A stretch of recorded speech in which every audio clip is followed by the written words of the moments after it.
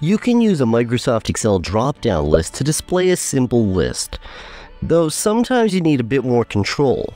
Let's suppose you have personnel scattered across four regions, north, south, east, and west. You want to work with personnel by region, not all personnel. A situation like that requires two drop-downs. One that lets you specify the region, and the second that displays only the staff in that region. Note that this technique works only with a matrix-style dataset. I'm showing the simplest technique, but it's not the only technique. If you Google, you'll find complex and sometimes even convoluted solutions. Once we're done, you'll see that this solution isn't perfect, but it's super easy to implement. If it doesn't work for you, try embedding drop-down controls instead. We have a simple matrix-style type data set listing representatives for each of the four regions. Notice that the region list is in alphabetical order from left to right. It's the only true limitation of this technique. Representatives are listed on each region, and some of those representatives are listed more than once. I did that on purpose because it makes no difference to the technique.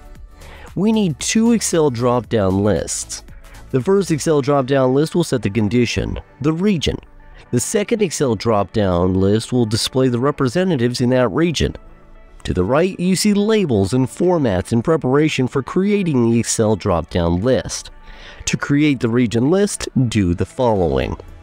First of all, select H2 cell, click the Data tab, and then click Data Validation in the Data Tools group. From the Allow drop-down, choose List. In Source Control, enter or select the cells from B2 to E2.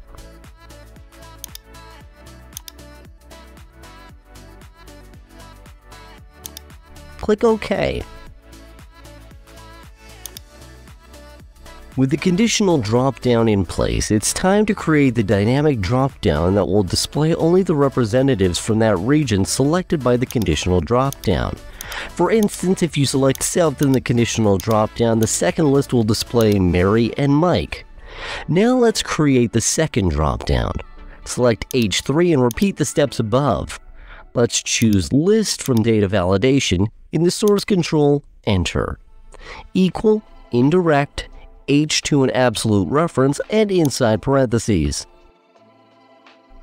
The indirect function in Excel is used to create a reference specified by a text string. It enables us to create references from cell values. This function is one of the lookup and reference functions in Excel. The formula references the conditional dropdown in H2. Click OK. Each time you change the region in the conditional dropdown, the rep dropdown updates accordingly. Remember that the conditional list of header text must be in alphabetical order. In addition, you'll notice the dropdown in Figure has space for four items because the list contains blanks. If you deleted Mary, the first line would be blank, the second line would display Mike, and the third and fourth lines would still be blank. This is one of the things that you have to live with when you opt for an easy solution. For most of us, the two drop-downs work well enough as is. If you found value in this tutorial, please give it a thumbs up and don't forget to subscribe for more Excel tips and tricks. If you have any questions or insights, please drop them in the comments below. I love seeing what you come up with. Thank you for your support, and I'll catch you in the next one.